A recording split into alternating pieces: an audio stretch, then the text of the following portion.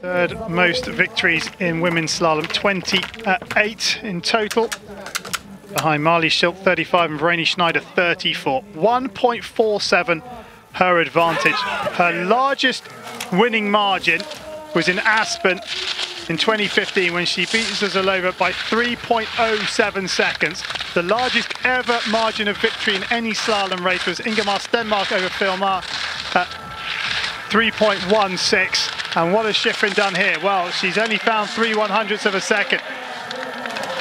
But it's when she gets to this steep, rutted, icy section that we'll see the strength and skill come to the fore. Look how quiet the hands are compared to those that have gone before her. How she drives that upper body forward and extends the lead now to 1.66 seconds. Oh, there's a little error with the right hand just flicking behind her, but it's quickly back in front of her. And it's going to be surely yet another win for this remarkable young lady. Mikaela Shiffrin takes it by 1.64. All the damage done on the first run. And she skis a perfect second run to bring home another win for her.